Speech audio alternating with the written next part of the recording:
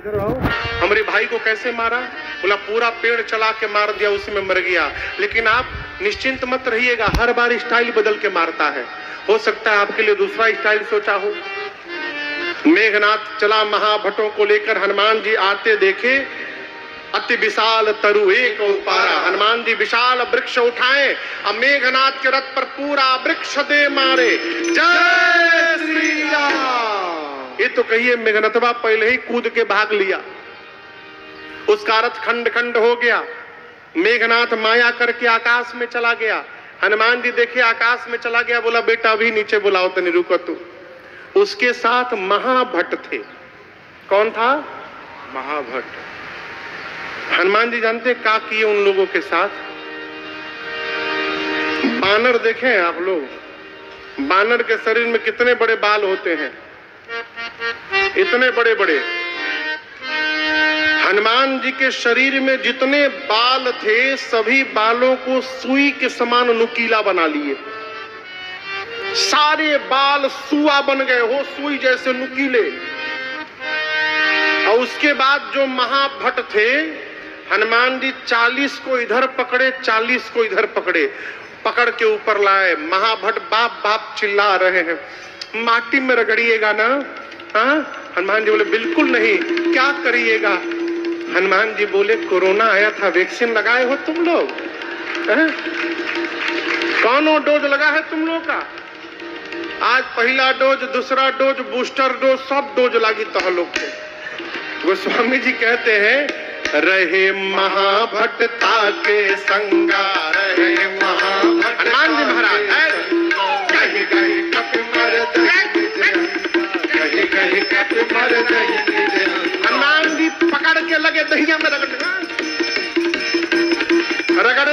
घुमा घुमा के देखते थे कहीं छूटल नहीं थे ना। जहाँ रगड़ते थे, चमड़ा छिलने लगा। चमड़ा हटने लगा, करिया करिया राक्षस गोरे गोरे होने लगे। हनुमान जी ईसा रगड़ते थे, घुमा घुमा के। काले काले राक्षस गोरे होने लगे। दूसरा पकड़ के रगड़ना शुरू किए। राक्षस मेघनाथ से बोलने लगे, फंसा के भाग गया ऊपर। हम लोग को साथ में लाया था, अपने भाग किया ऊपर। बानर रगड़ के मार देगा, जल्दी नीचे आओ। मेघनाथ देखा रे हमारे सिपाहियों को करिया करिया सिपाही गोरे गोरे हो गए। मेघनाथ नीचे आया। हनुमान जी राक्षसों को छोड़े। अब मेघनाथ के खोपड़ी पर एक मुक्का मारे सिर पर। मुष्टिका बांधे एक मुष्टिका जय श्री राम क्या हुआ हो बेहोश। बेहोश। एक के मुक्का में बेहोश हो गया। बेहोश होके गिरा। वो स्वामी जी करते हैं, मुठिका मारी, चढ़ा तरु जाई। जैसे मेघनाथ बेहोश हुआ, हनुमान जी वही एगो पेड़ था, उस पर चढ़ के देखने लगे।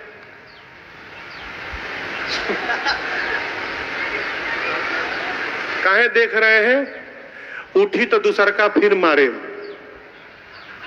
मेघनाथ की मूर्छा गई, धीरे से आँख खोल, अरे बापू परे बैठल बा।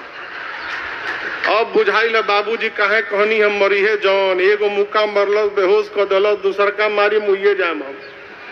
लड़ नहीं पाऊँगा इससे। ब्रह्मास्त्र चलाओ। निकाला ब्रह्मास्त्र।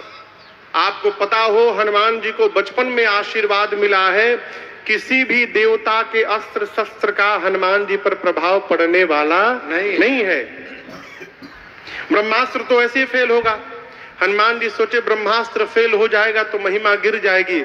उसकी महिमा बचाने के लिए नाटक किए। जैसे चलाया, लगा नहीं। गोस्वामी जी कहते हैं ते ही देखा कपि मूर्छित भयो। जैसे ब्रह्मास्त्र आया, हनुमान जी देखे, अब बेहोश होने का नाटक करके गिर गए।